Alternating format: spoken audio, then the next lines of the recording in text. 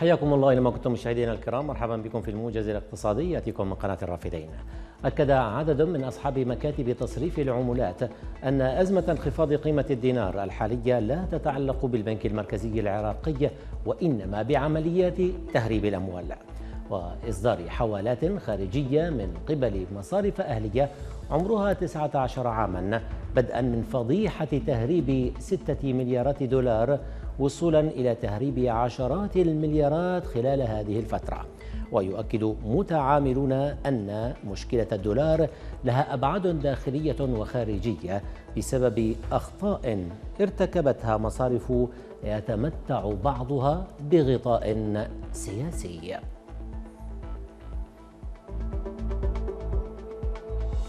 قالت لجنة النقل والاتصالات النيابية إن وزارة النقل مستمرة باستنزاف الأموال عبر خسارتها دعاوى قضائية.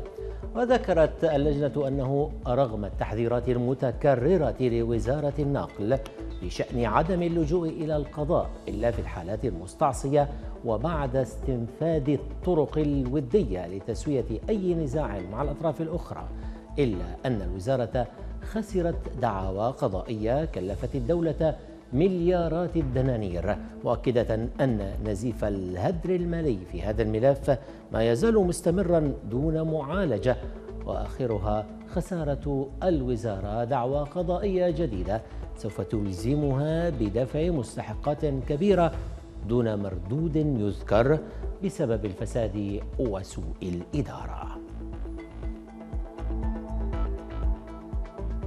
أعلنت وزارة التخطيط أن الجهاز المركزي للتقييس والسيطرة النوعية تمكن خلال العام الماضي من فحص 51% فقط من المنتجات المستوردة. قالت الوزارة إن دوائر الجهاز المركزي للتقييس والسيطرة النوعية أجرى خلال عام 2022 الماضي فحصا بنسبة 72% من المنتجات المحلية و51% من المنتجات المستوردة.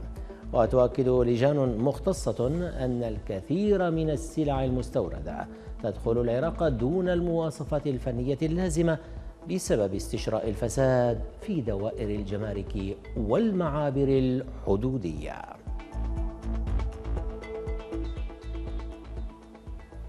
أكدت مصادر صحفية أن الليرة اللبنانية هوت إلى أدنى مستوى لها منذ استقلال لبنان قبل حوالي ثمانين عاما في السوق الموازي.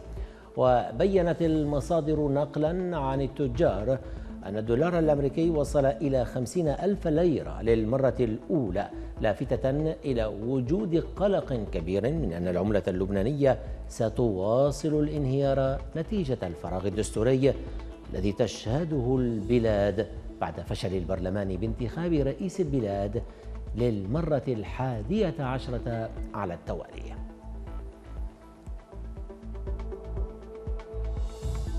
قالت صحيفة الفاينانشال تايمز إن الكرملين الروسي قلق من تحديد سقف لأسعار النفط ومن انخفاض تكلفة الخام.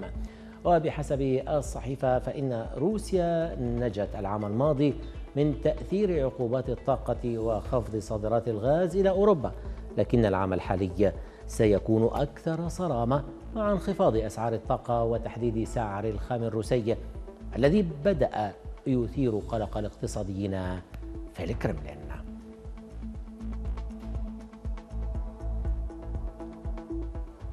وهذه انتقالة سريعة مشاهدينا الكرام إلى أسعار صرف العملات الأجنبية وأسعار المعادن.